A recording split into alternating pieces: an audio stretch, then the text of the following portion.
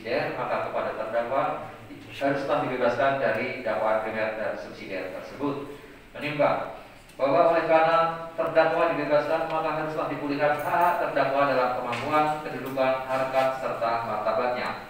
Menimbang bahwa oleh karena terdakwa tidak terbukti melakukan tidak pidana yang dijawab kepadanya dan terdakwa berada dalam tahanan, maka diberitakan untuk dibebaskan dari tahanan segera setelah putusan ini diucapkan. Menimbang bahwa barang bukti nomor 1 sampai dengan 200 sebagai terma dalam putusan ini. Masih diperlukan sebagai barang bukti dalam perkara lain atas nama terdakwa Thomas More, maka semua barang bukti tersebut dikembalikan kepada penuntut umum untuk dijadikan barang bukti dalam perkara atas nama terdakwa Thomas More.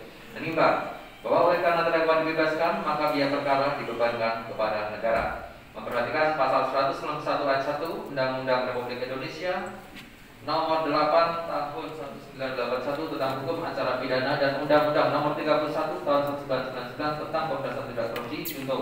Undang-Undang nomor 20 tahun 2001 tentang perubahan atas Undang-Undang nomor 399 tentang pemberantasan korupsi junto pasal 5 ayat 1 KPP serta peraturan undang lain yang bersangkutan.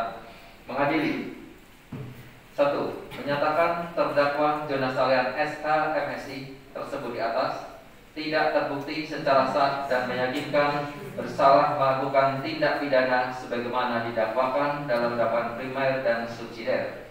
Dua, membebaskan terdakwa oleh karena itu dari dari semua dakwaan penuntut umum. Tiga, memerintahkan terdakwa segera dibebaskan dari tahanan. Empat, memulihkan hak terdakwa dalam kemampuan, kedudukan, harkat, serta martabat 5. Menetapkan barang bukti berupa angka 1 sampai dengan 200 dikembalikan kepada penuntut umum untuk dijadikan barang bukti dalam perkara atas nama terdakwa Thomas More membebankan biaya perkara kepada negara.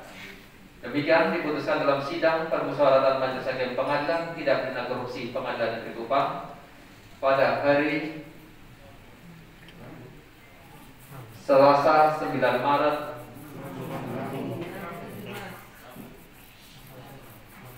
Ini musyawarahnya ya. Selasa 9 Maret oleh kami Ali Prabowo Esa sebagai Hakim Ketua Guli Liwar Bani Awam SHMH dan Ibnu Kolik SHMH masing-masing sebagai anggota Hakim anggota yang diucapkan dalam sidang terbuka untuk umum pada hari Rabu tanggal 17 Maret tahun 2021 oleh Hakim Ketua didampingi Hakim anggota tersebut dibantu oleh Daniel W. Esa, panitera penganti pengadilan tidak pidana korupsi pada pengungkapan serta dihadiri oleh S. Hendrik Esa, Emerensiana, MFJ Muhammad Esa, dan Harry C. Franklin SMH penuntut umum dan terdakwa didampingi penasihat hukumnya.